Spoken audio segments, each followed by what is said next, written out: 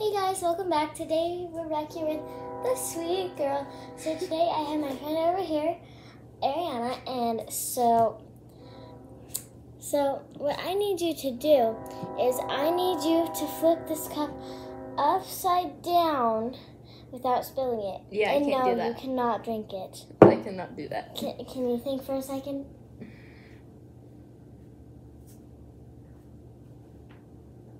Yeah, no.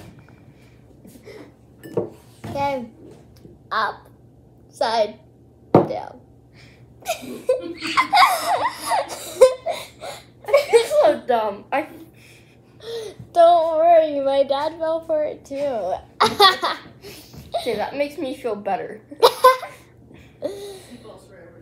yeah, just kidding. Oh.